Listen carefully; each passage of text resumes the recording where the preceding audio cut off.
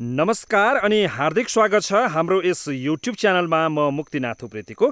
कृषि र कृषिसँग सम्बन्धित विविध विषयमा जानकारी गराउने च्यानलमा आज म इन्द्र सरोवर गाउँपालिका वडा नम्बर पाँच खडबुमा आइपुगेको छु र यहाँका कृषक हुनुहुन्छ जसले अकबरे खुर्सानी पुरानै बोटमा असङ्ख्य रूपमा फलेको छ उत्पादन गरेर लाखौँको अकबरे खुर्सानी बिक्री गरिसक्नु भएको छ र अझै पनि बिक्री गर्न धेरै बाँकी छ।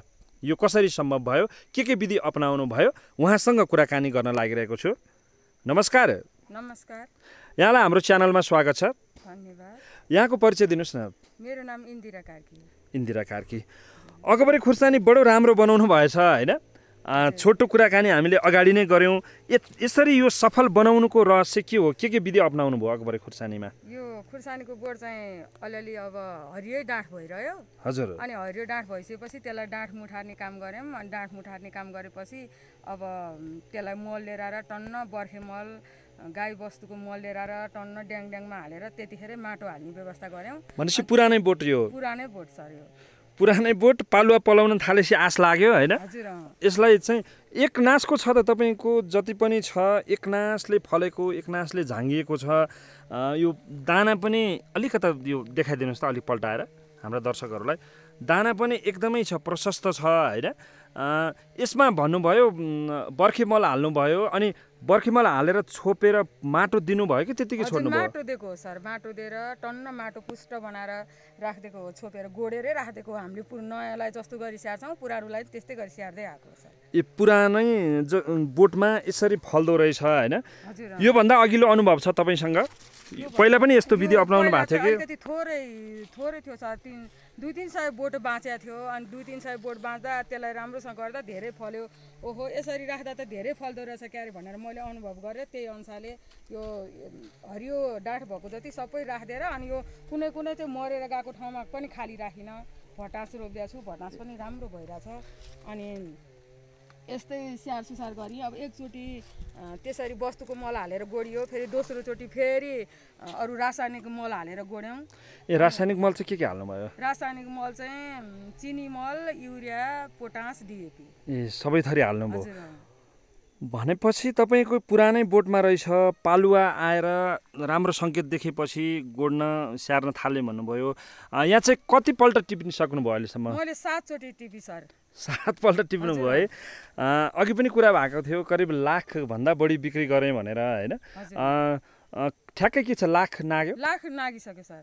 प्रति केजी कसरी बेच्नुभयो? कति जमिनमा छ त्यो पनि बताइदिनुहोस्। अब सुरुमा चाहिँ मैले पाँच सय रुपियाँ केजीमै बेचेँ। पाँच सय? हजुर। अनि त्योभन्दा पछाडि चार सय रुपियाँ केजीमा चार सय पचास रुपियाँ केजीमा बेचेँ। अनि त्योभन्दा पछाडि चार सयमा बेचेँ।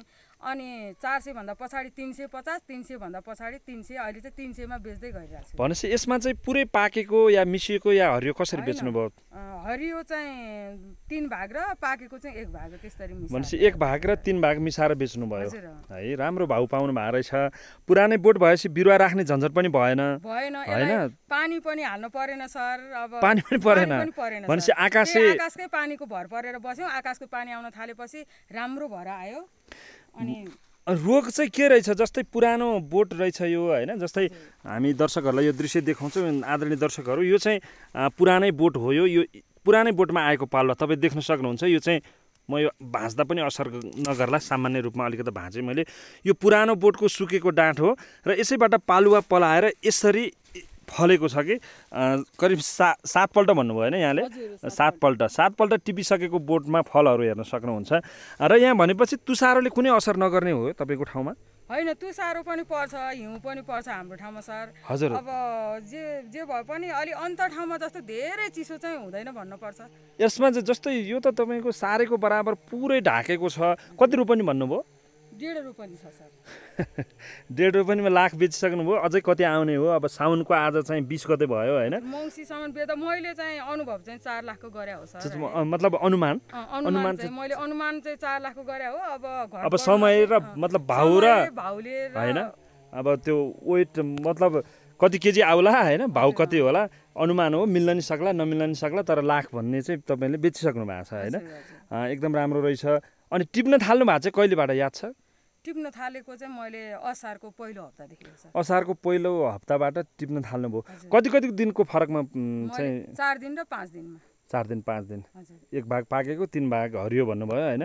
भनेपछि मल कतिपल्ट हाल्नुभयो रासायनिक मल चाहिँ यसमा? रासायनिक मल दुईचोटि मात्रै सर है दुईपल्ट हाल्नुभयो। यसमा रोग चाहिँ के रहेछ जस्तै अघिल्लो वर्षमा भएको जुन अघिल्लो वर्षकै बोट हो यो मतलब त्यसमै पालुवा चढेर अर्को पलायो त्यतिखेर चाहिँ रोग लागेको थिएन र त यो बच्यो होइन। तर रोग लाग्न नहुने रोग नलागेकै भएर बच्यो।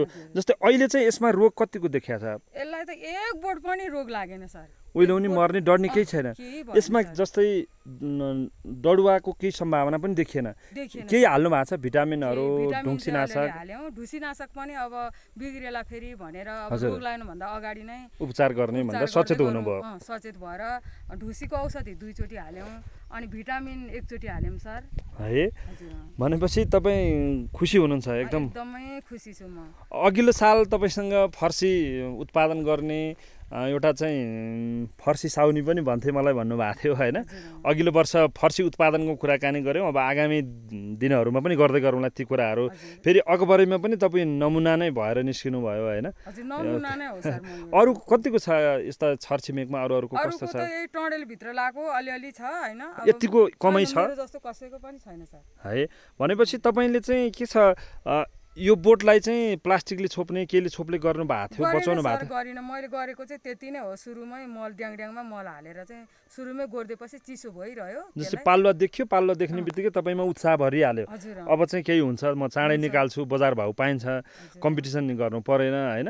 भनेपछि बेच्न चाहिँ कहाँ कहाँ लगेर बेच्नुभयो बेच्न चाहिँ यता हाम्रो स्याउली बजार भन्ने छ हजुर। अनि त्यही स्याउली बजारमा अनि तल त्यो पुलनेरी एउटा पसल छ त्यहाँ लैजान्छु है। हजुर। अनि अन्त अन्त मतलब मतलब स्थानीय रूपमै कटिरहेछ भनौँ न तपाईँको होइन? कहिले कहिले चाहिँ उता दक्षिणकाली बस्नेहरूले डोलेश्वरमा माग्छन् अनि त्यता पनि लैजान्छु। भनेपछि अझै पनि सातपल्ट टिपिसकेको ठाउँमा टिप्दै टिपि टिपेको छैन जस्तो देखेदो रहेछ होइन? अब यसो हेर्दाखेरि बोट हल्का हल्का पहेँलो भएको छ अब मल हाल्ने तयारी पनि होला होइन? अब- अब मल चाहिँ नहाल्ने कि भन्ने सोचमा छ सर हो के के हुन्छ मल मल नहाल्न किन नहाल्ने एउटा केही अनुभव बताउनुहोस् त। अलिअलि झर्न थालेर अलि हुँदैन कि जस्तो लागेर मल चाहिँ नहालिरहेछौँ। है अब अझै पहेँलो भयो भने हाल्ने योजनामा हुनुहुन्छ। अहिले। तत्काल चाहिँ नहाल्ने। है। र आफ्नो अमूल्य समय दिनुभयो। तपाईँबाट तपाईँको अनुभवबाट हाम्रा दर्शकहरूले केही पाठ सिक्नु होला जहाँ तुसारो पर्दैन त्यहाँ चाहिँ बोट चाहिँ पुरानै बोटलाई संरक्षण गर्यो भने बिउ राख्ने पानी हाल्ने छोप्ने उगार्ने होइन?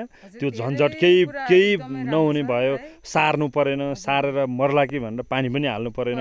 भनेपछि त पुरानै बोटबाट त समय लगानी पनि धेरै बस्दो रहेछ होइन? अनि फाइदा पनि आफूलाई एकदमै फाइदा हुने। अब छिटो निकाल्न सक्यो पुरानो बोटमा भाउ पाइयो। कम्पिटिसन गर्नु परेन अरूसँग। होइन। भनेपछि एकदम चाहिँ सफल पनि बनाउनु भएको रहेछ खुसी लाग्यो। यहाँको अमूल्य समयको लागि धन्यवाद नमस्कार। नमस्कार। नमस्कार। आदरणीय दर्शकहरू मैले इन्द्र सरोवर गाउँपालिका वडा नम्बर पाँचकी कृषक हुनुहुन्छ सफल हुनुहुन्छ।